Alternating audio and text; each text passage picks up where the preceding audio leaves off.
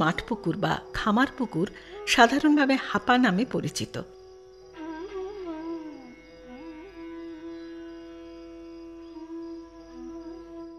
Five percent মডেলকেও কোনো কোনো জায়গায় হাপা বলে। বাইদ কানালি বা খামার জমিতে বৃষ্টির জল ধরে রাখার একটি আদর্শ আধার হল হাপা।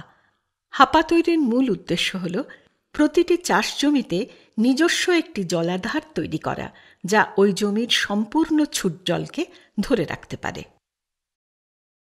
বৃষ্টিসেবিত অঞ্চলে যেহেতু সেচের কোনো সুবিধে থাকে না, তাই শুধু বর্ষা নির্ভর একটাই চাষ হয় এবং সেটাও অনিশ্চিত। এর ফলে ক্ষুদ্র ও প্রান্তিক চাষিদের জীবন জীবিকা যথেষ্ট পরিমাণে ব্যাহত হয়।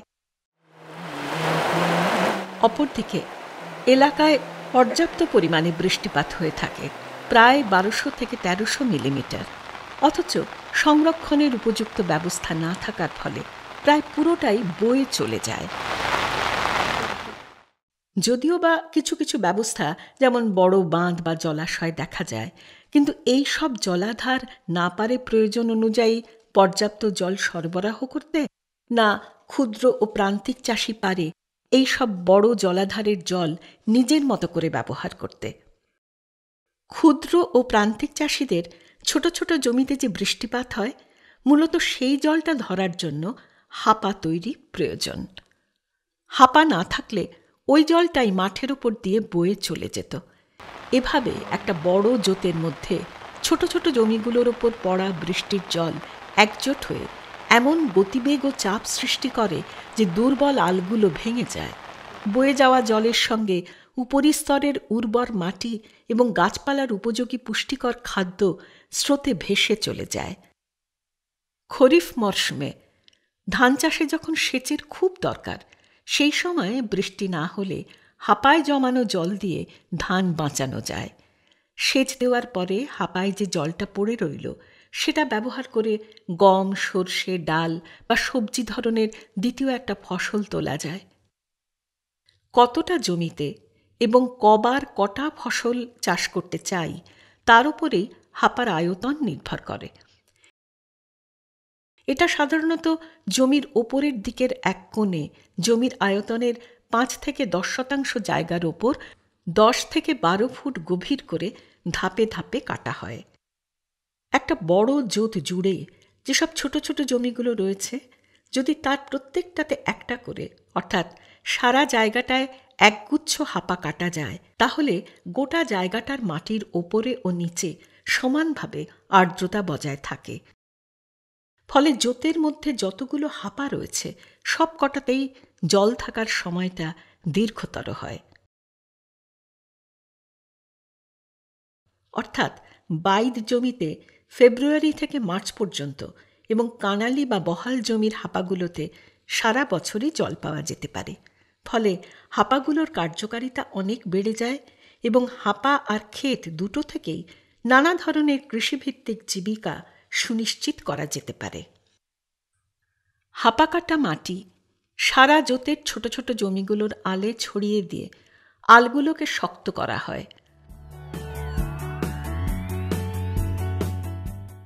আল শক্ত করার পর যে মাটিটা পড়ে থাকে, সেই মাটি দিয়ে হাপার চারপাশের বাঁধটাকে চার পাঁচ ফুট উঁচু আর চার থেকে ছ ফুট চওড়া করে তৈরি করা হয়।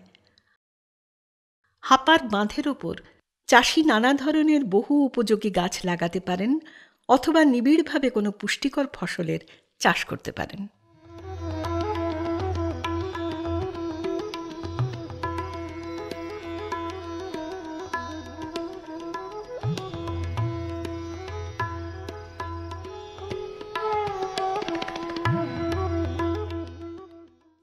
পঞ্চাশ ফুট বাই পঞ্চাশ ফুট বাই বারো ফুট আয়তনের একটা হাপা শূন্য দশমিক ছয় থেকে এক একর জমিতে সেচের উপযোগী।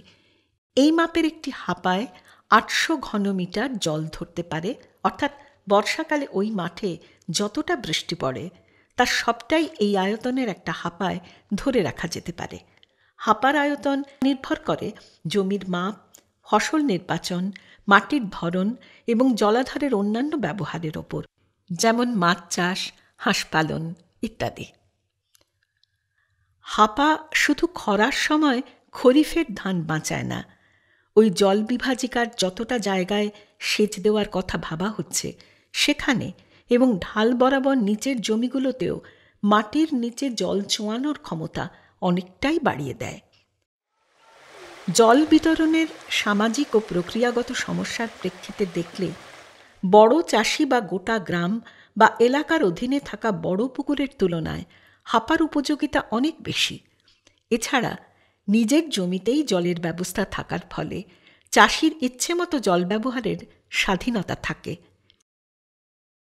নিজের সুবিধে বা লাভের দিকে তাকিয়ে সব থেকে ভালোভাবে হাপার জল ব্যবহারের ব্যাপারে চাষির আর কোনো বাধা থাকে না। খরিফের ধান বাঁচানোর পর যে জলটা হাপায় পড়ে থাকে, সেটা দিয়ে দু তিনটে সেচ দিয়ে রবিতে একটা দ্বিতীয় ফসল চাষ করা যায়। আর বুদ্ধি বিবেচনা করে যদি সেচ দেওয়া যায় এবং কম জল লাগে, কিন্তু বাজারে ভালো দাম পাওয়া যায় যেমন ডাল বা তৈলবীজের মতো ফসল যদি চাষ করা যায়, তাহলে গ্রীষ্মেও অন্তত চল্লিশ থেকে পঞ্চাশ শতাংশ জমিতে শশা জাতীয় ফসল চাষ করা সম্ভব হবে। টাঁড় বা বাইত জমিতে ছ থেকে সাত মাস আর কানালি বা বহাল জমিতে ন থেকে বারো মাস হাপার জলে মাছ চাষ করা যেতে পারে। পঞ্চাশ ফুট বাই পঞ্চাশ ফুট বাই বারো ফুট আয়তনের একটা হাপা থেকে পঞ্চাশ থেকে একশো কিলোগ্রাম মাছ পাওয়া যেতে পারে, যার বিক্রয় মূল্য পাঁচ হাজার থেকে আট হাজার টাকা। খামারের মধ্যে হাপা কাটলে সেটাকে আরও অনেক ধরনের কাজে লাগানো যায়, যেমন হাপার পাড়গুলোতে আম, পেয়ারা, কলা, পেঁপে, লেবু ইত্যাদি ফলের গাছ, তেজপাতা, দারচিনি ইত্যাদি মশলা, সজনে, বেগুন, টমেটো, লঙ্কা, শিম, লাউ শশা কুমড়ো ইত্যাদি সবজি এবং নানা ধরনের শাক লাগানো যায়। গরিব চাষি পরিবারের সারা বছরের পুষ্টি নিরাপত্তা এখান থেকেই সুনিশ্চিত করা সম্ভব। কোনো কোনো চাষি হাপার সব থেকে ভালো ব্যবহারের জন্য হাঁস, মাছ এবং বাজারে ভালো দাম পাওয়া যায় এমন ফসলের সমন্বিত চাষের কথা ভাবেন।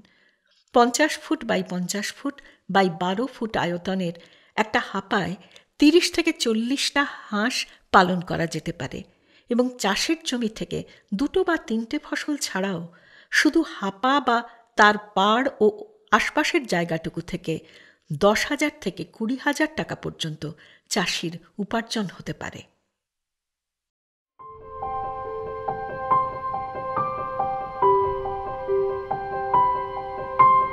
Thank you.